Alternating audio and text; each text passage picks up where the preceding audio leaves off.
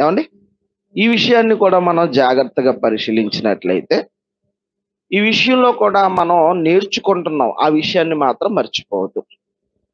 ఒక కన్స్ట్రక్షన్ చేస్తున్నప్పుడు మనకు ఒక సైట్ ఉందనుకోండి అంటే స్థలం ఉందనుకోండి ఆ స్థలాల్లో బిల్డింగ్ కట్టాలనుకున్నాం. బిల్డింగ్ కట్టాలనుకున్నప్పుడు మొట్టమొదటగా ఎవరిని సంప్రదిస్తామంటే ఇంజనీర్ని సంప్రదిస్తాం. ఎందుకు సంప్రదిస్తామంటే ఇంజనీరు నమూనా ఇస్తాడు. నమూనా అంటే ప్లానింగ్ ఇస్తాడు. బెడ్రూమ్ ఎలా ఉండాలి? ఏమండి? కిచెన్ రూమ్ ఎలా ఉండాలి? అలాగే డ్రైనింగ్ రూమ్ ఎలా ఉండాలి? బాత్రూము ఎలా ఉండాలి? ఇలా అతడు ఒక నమూనా ఇస్తాడు. ఈ మధ్యన సాంకేతికమైనటువంటి నైపుణ్యత ఎక్కువయ్యి బ్లూ ప్రింట్ ఇస్తున్నారు అంటే బ్లూ ప్రింట్లో మనకు తెలుసు బిల్డింగ్ కట్టేసినట్లుగా బ్లూ ప్రింట్లో డిజిటల్గా కట్టేస్తారు.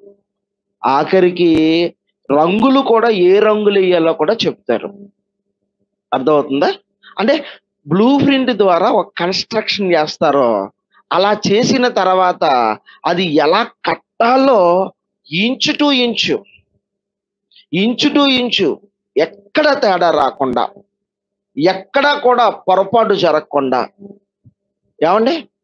ఇంజనీర్ల సమక్షంలో ప్రతి విషయంలో ఇంజనీరు అబ్జర్వేషన్ చేస్తూ ఎక్కడికక్కడ సరిగ్గా కట్టారా లేదని కొలతలు వేసుకుంటూ చాలా కేర్ఫుల్గా చాలా కేర్ఫుల్గా ఆ కన్స్ట్రక్షన్ని దగ్గరుండి పర్యావరణ చేస్తారు పర్యవేక్షిస్తాడు వింటున్నారా? అంటే ఎక్కడా కూడా తేడా రాకూడదు.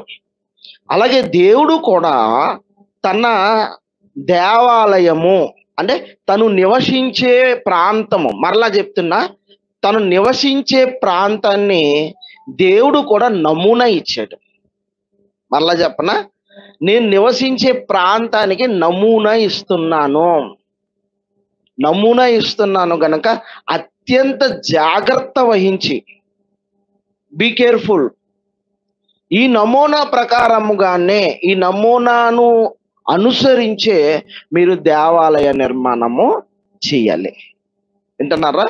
అంటే దేవుడు నివసించే ఒక గుడారానికి దేవుడు నమూనాని ఇచ్చాడు. అంటే ప్లానింగ్ ఇచ్చాడు. ఈ ప్లానింగ్ ఎవరికి ఇచ్చాడో ఒకసారి బైబిల్లో చూద్దాం. ఒకసారి అపోస్తుల కార్యములు ఏడవ అధ్యాయము నలభై నాలుగో వచనం. అపోస్తుల కార్యములు ఏడవ అధ్యాయము నలభై నాలుగో వచనం. ఏడు నలభై నాలుగు. తీశారా? ఆ నమూనా కోసం చెప్తున్నాడు చూడండి. సాంకేతిక విలువలు చూపుతున్నాడు చూడండి. ఏడవ అధ్యాయము నలభై నాలుగో వచ్చిన అతడు చూచిన మాదిరి చెప్పున దానిని చెయ్యవలెను చూచిన మాదిరి చెప్పిన దానిని చెయ్యవలను అంటే ఒక దేవుడు నివసించే గుడారాన్ని ఏర్పరుస్తున్నప్పుడు దేవుడు మోషేకి ఆ గుడారం ఎలాగుండాలో చూపించాడు. పరిశుద్ధ స్థలము అతి పరిశుద్ధ స్థలము దేవాలయపు తెర మందశము గంగాలము ఇవన్నీ దేవాలయములో మరి పరికరాలు గనక దేవాలయములో వాడుకున్నటువంటి దేవునికి విలువైన పాత్రలు గనుక ఆ పాత్రలు ఎలాగ ఉండాలో దేవుడు ఖచ్చితంగా చెప్పాడు ఒక నమూనా చెప్పాడు.